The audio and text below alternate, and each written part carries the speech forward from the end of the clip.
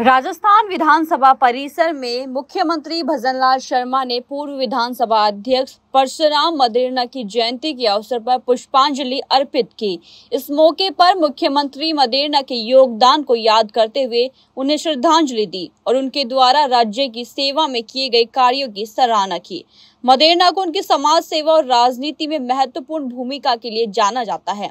वे न केवल एक कुशल नेता थे, बल्कि एक प्रेरणादायक व्यक्ति भी थे, जिन्होंने अपने कार्यकाल के दौरान राज्य के विकास और महत्वपूर्ण योगदान दिया था। मुख्यमंत्री भजनलाल शर्मा ने पुष्पांजलि अर्पित करते हुए कहा, श्री परशुराम मदेरना एक महान नेता और एक सच्चे समाज सेवी थे। उनका जीवन और कार्य हम सभी के लिए प्रेरणा का स्रोत है। उन्होंने अपने जीवन काल में राज्य की सेवा के लिए जो प्रयास किए, उन्हें हमेशा याद रखा जाएगा।